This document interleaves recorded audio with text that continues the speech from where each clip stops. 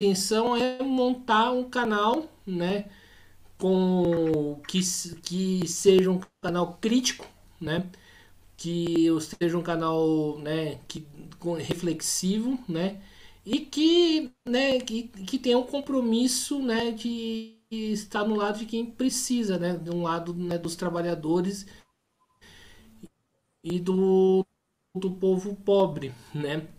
É, esse é o objetivo aí do canal, é, trazer conteúdo crítico, trazer conteúdo reflexivo, né, fazer o debate né, político que precisa ser feito, né, e, e tá aí no lado né, do né, no lado né, dos trabalhadores e do povo pobre, né, coisa que grande parte aí da, da imprensa, né, seja a imprensa tradicional, né, e principalmente a imprensa bolsonarista, como citando aqui como grande exemplo aqui a Jovem Pan, não está, né?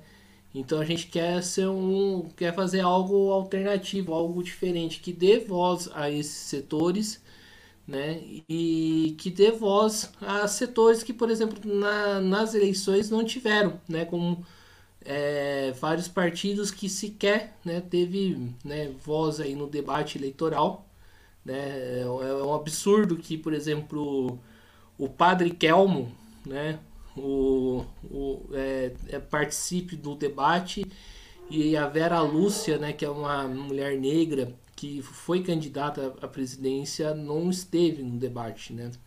Ou a gente pode citar aqui outros exemplos também, como a própria o próprio Leonardo Pélix, que é outro candidato negro do Rio de Janeiro que não, não esteve presente no debate.